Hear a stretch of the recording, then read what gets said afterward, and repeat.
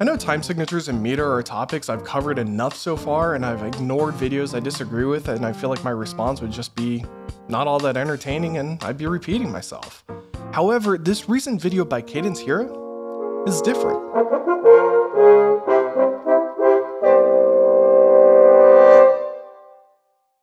Cadence's video, link in the description of course, it's actually really well done and is so close on many aspects. So let's praise some awesome explanations and discuss a few others. Firstly, for a video like this, we need to explain what a time signature is. We could go with mine, that I still have no idea why I didn't redo this. Well, a time signature is a way of structuring the notes into what should be the most logical way to organize the music to make it easiest to read. Or we can go with Cadence's. Time signatures are essentially a way of notating how we feel the division of music. The top number indicates how many beats we have per measure. If the top number is 4 for instance, we can count loops of 4 and it will feel natural and align with the beat. Her definition here is disproven by her own video. Something like 12-8 for instance, we would usually also feel in 4, but with a triplet subdivision. The definition we need to stick with, or at least in my opinion until I hear something better, is that the top number tells you how many of the bottom are in each measure. That's it. The time signature doesn't tell you anything about the meter, but this top number gets the beat idea suggests that it does, which is just wrong. Here's how I like to think about time signatures. We feel the number of beats per measure, and we feel the subdivision. That's it. There's a lot of rules for the nomenclature of time signatures, but I think those rules are not very intuitive. Outdated. Say it again. Those rules are not very intuitive. Outdated. I agree that simple, compound, and complex or irregular need to go. Yes, simple is a duple feeling and compound is a triple feeling, but I don't know any real use of these after basic music theory, if even that. Especially when we have music that shifts between the two. The difference between something like 6-4 and 6-8. It's the same number of beats per measure, just the type of note changes. It usually just comes down to tempo. Generally, the faster the tempo gets, the shorter the note value per beat, so slower songs in 6 would perhaps be written in 6-4, while faster tunes would perhaps be written in 6-8. We'll see some exceptions later though. The wording here is perfect. We are talking generalities, so even though I can show an example of 6-8 and 6, or 6-4 and 2, it doesn't actually negate what Cadence says, so props for that wording. Alright, so 1-4 doesn't really exist. The reason why is because realistically, it's hard to imagine any scenario where you can compellingly have one beat per measure, or feel a groove that loops every one beat.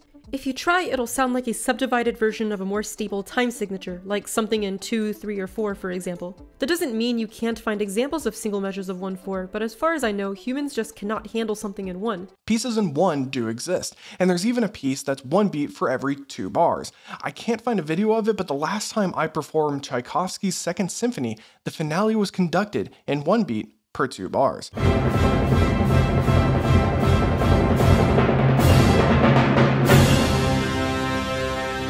However, her statement here about feeling a groove is very accurate. My go-to example of a piece that's in 1 is the second movement to Beethoven 9. While this piece is in 1, it's felt in 4 along with the hypermeter. The groove doesn't align with the time signature.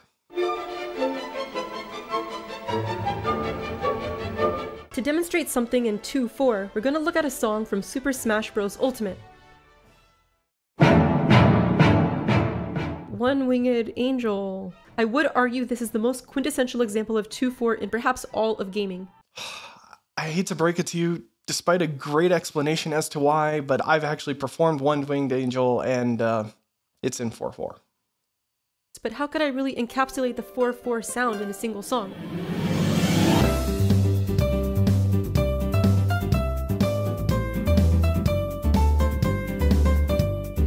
Okay, seriously, this is a perfect example of a piece in 4. Because of the syncopation that happens, it locks the groove into a looping 4 pattern.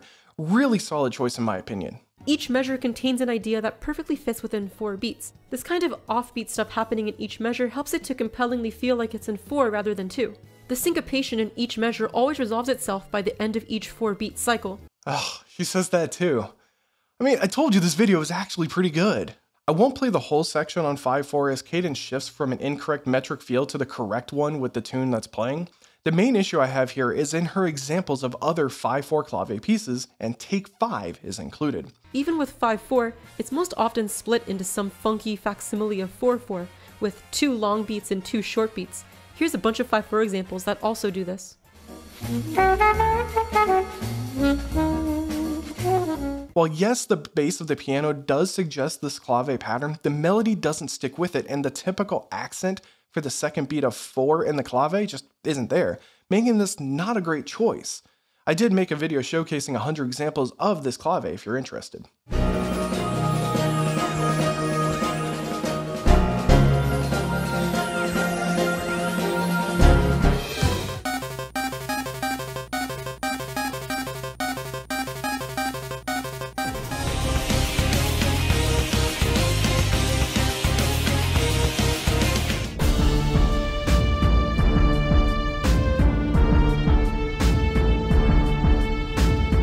What about examples of pieces that are felt in 5 beats though? Sticking to Nintendo games, Metroid Other M's Lockdown Battle has a strong sense of 5 beats, but are grouped in 3 and 2 as Cadence suggests it normally is. We naturally want to split the feel into two kinder numbers. Most often, 5-4 is felt as 3 plus 2, as it is here,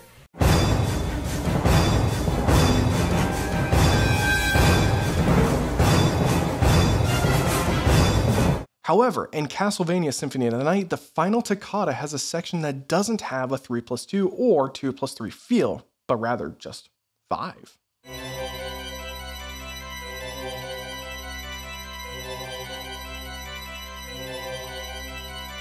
Cadence skips over 5-8, where we typically feel two beats to the bar, either 3 plus 2 or 2 plus 3. Maybe she doesn't know of a Nintendo example and just moved on? I don't know, but I actually don't know of an example either, but I do know two examples from other games Battle for the Skies from God of War 2 and Pylon 512 from Recore.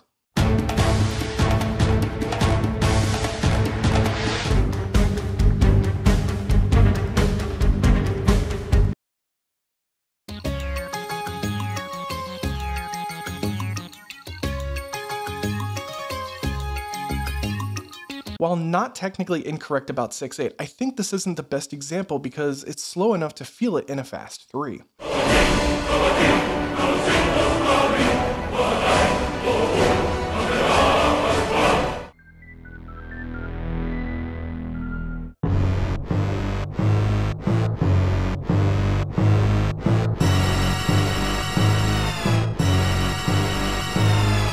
Seven four is asymmetrical in this case, and most often it's felt as 2 plus 2 plus 3, with a duplet subdivision.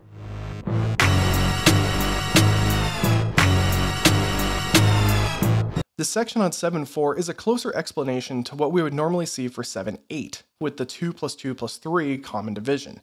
And for me, I feel this particular music is actually 2-2-2-1, as the final beat seems to have the same weight as the others.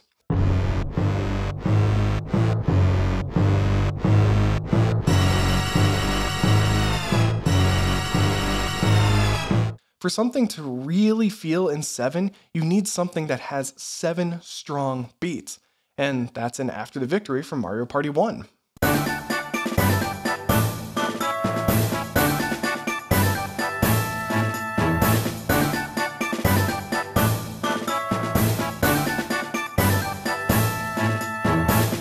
May disagree, but I think for similar stability reasons to 1-4, it's hard to make a case that 8-4, 8-8, 8-16, and all further multiples actually exist.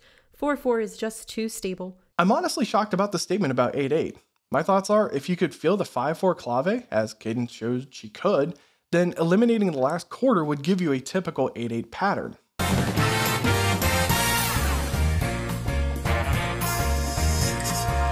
An example of that is here in Magnus's theme from Kid Icarus.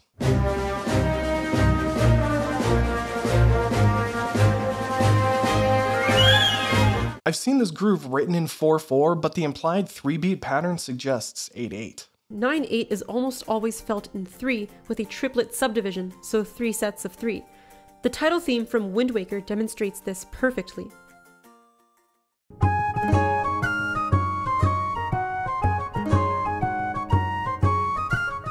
Often only the first and last eighth of each triplet is emphasized.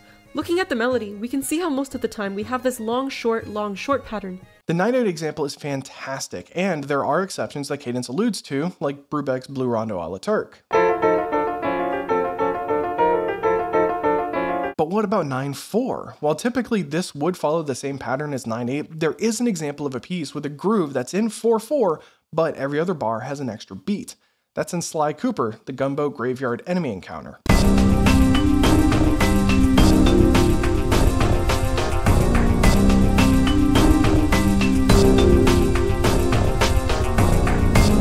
4 could very easily be felt as two measures of 5-4 added together, but all of the elements loop every 10 beats, and the 5 beat split doesn't feel as convincing as it usually does in 5-4 bangers. Oh, I couldn't agree more with her section on 10-4. I've seen this piece transcribed as 5-4, but the 10-beat loop is just too strong. Kudos.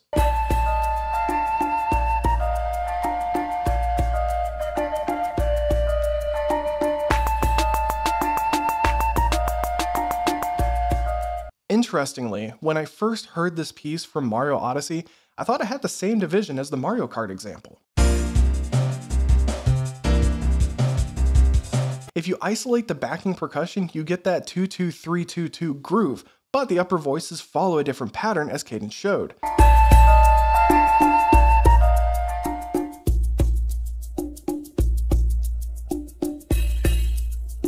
I think the best example to feel that 5B groove is by switching over to Sony with the Zeldrin Spaceport from Ratchet & Clank 3.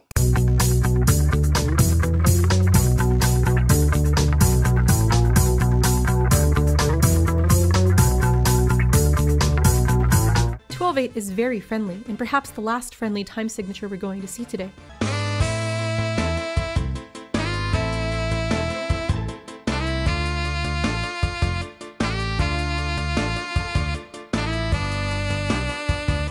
Definitely what makes 12-8 so nice is the clean divisibility. As mentioned earlier, almost always, and in this song, 12-8 is felt in 4, with triplet subdivision. This example of 12-8 is great and all, but since we are getting into higher numbers, different divisions can crop up, and I've got one here from a Nintendo property. Big Boss from Yoshi's Island DS has a cool groove of 2-2-3-2-3, or trading off our typical 7-8 and 5-8 progressions.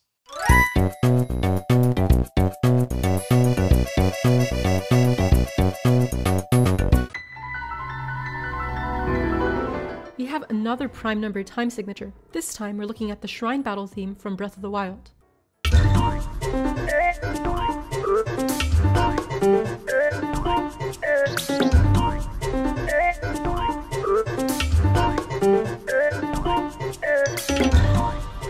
After that short intro in 4-4, we're immediately thrust into 13-8 land.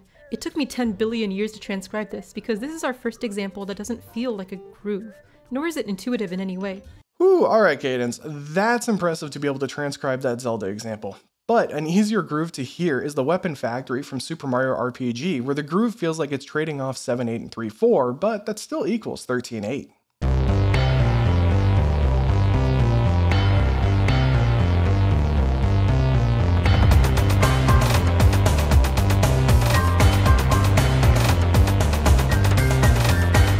There are few other tunes that capture the vibe of Pure 14 as well as this one from A Link Between Worlds.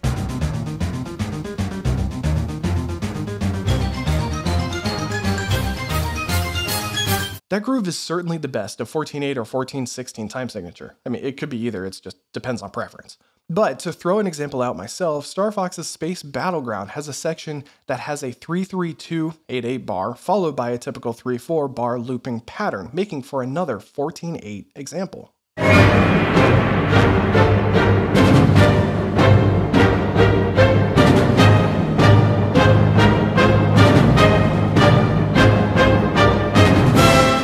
Exist for the same reason as 8. Whoa, whoa, whoa, slow down. I have an example with different divisions. First, there is this groove from the running theme in Punch Out that has a 6 beat feel. Yes, the trumpet melody is in 4 4, but the groove itself is in 16 8.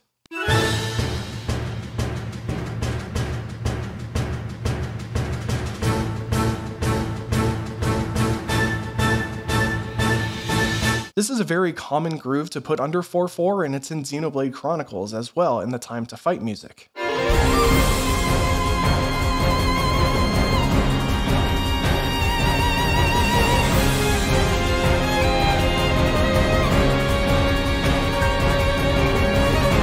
A better example of 16-8 though is if we remove the melody from Smash Melee.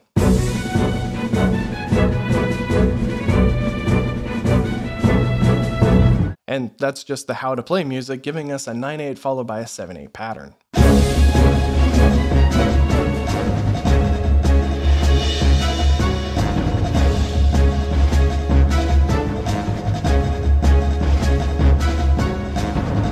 Alright guys, so I looked and I looked and I looked and I swear I could not find anything even close to any time sigs between 17 and 20 in a Nintendo game. Yeah, me neither. At least not video game music. But Cadence skips 22. Okay, it's not a Nintendo property. I mean, it used to be until 7, but Final Fantasy XIII's Lightning Returns has the 788878 pattern in the boss music entitled Chaos.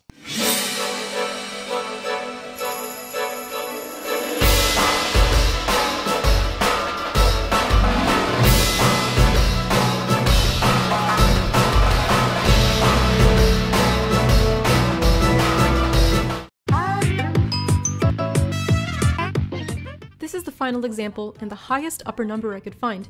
Fishing Frenzy from Splatoon 2 Salmon Run mode. 31 is pretty high, but what if I told you I could double it? That's right, 62 and from a Nintendo property.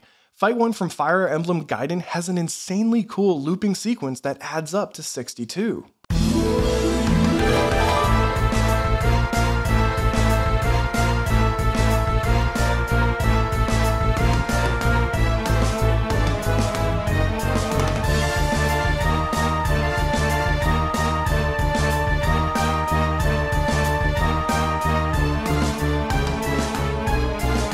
The many videos I've seen about time signatures, this one is the closest I've seen in explanations of meter, but just barely off.